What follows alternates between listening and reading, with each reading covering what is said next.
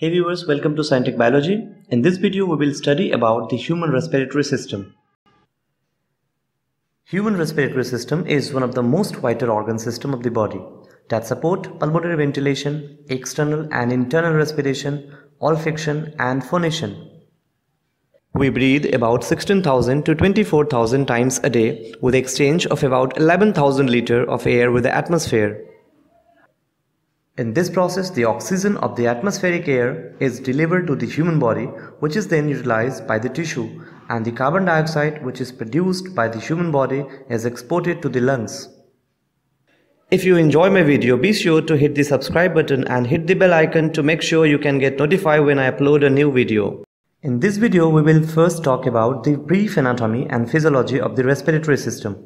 Then we will discuss how the gases transportation occurs and later we will talk about how the respiratory regulation occurs in the human body. So first coming to the anatomy and physiology of the respiratory system. The human respiratory system has two parts, the upper respiratory system and the lower respiratory system. The upper respiratory system consists nasal cavity, pharynx and larynx. Air entering the nasal cavity flows through the passage created by the superior, middle and inferior nasal conchae. Frontal, maxilla, nasal, ethmoid and vomer are the five bones of the nasal cavity that form a framework that support the nose. The pharynx is a muscular membranous tube that function as a part of alimentary canal and as an airway in the upper respiratory system. Pharynx consists of three regions and they are nasopharynx, oropharynx, and laryngopharynx. The larynx is an organ of complex structure that serves as a dual function, as an air canal to the lung and as the organ of phonation. The skeletal framework of the larynx consists of cartilages connected by the membranes. The lower respiratory system consists trachea, bronchi, bronchioles, and lungs. The trachea extends from the larynx to the upper border of the T5 vertebra, where it branches to form bronchi. The trachea is supported by a series of C-shaped cartilaginous rings that allow the trachea to change shape to accommodate masses of the food passes through the esophagus. The bronchi are the air passage into the lung that begins at the end of the trachea. There are two bronchi, one for each lung. The bronchi divide and redivide to form a bronchioles. There are two lungs in the human body, which are located inside the thoracic cage. The right lung is bigger than the left. The right lung has three lobes and the left has two.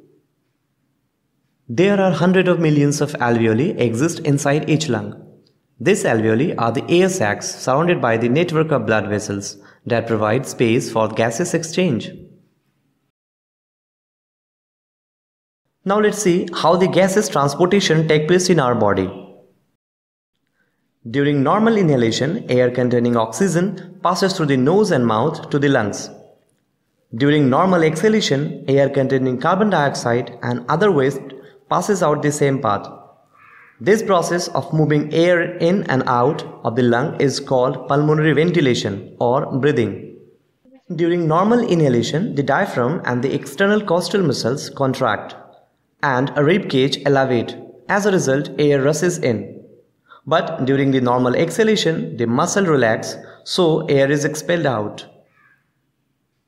Inside the lungs, oxygen from the air is exchanged for the waste carbon dioxide from the bloodstream. This process takes place in alveoli.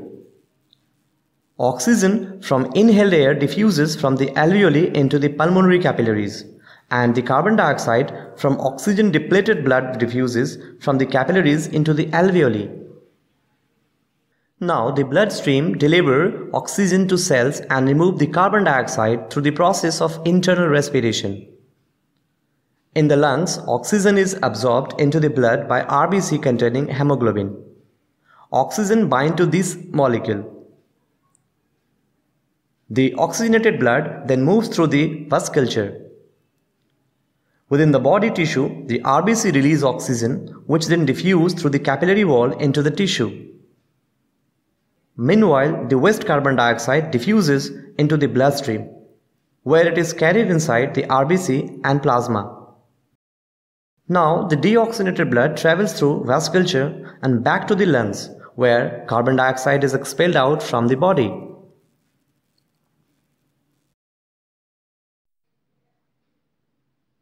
Now let's see how breathing is regulated by our brain.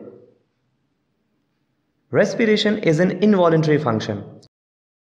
Nerve impulse is transmitted by the pons and the medulla oblongata to the respiratory center. The rate of normal breathing is 12 to 15 breaths per minute. The body adjusts the rate and depth of the normal breathing in response to metabolic needs. When the body uses more oxygen, sensor in the blood called chemoreceptor sends the signals to the brain.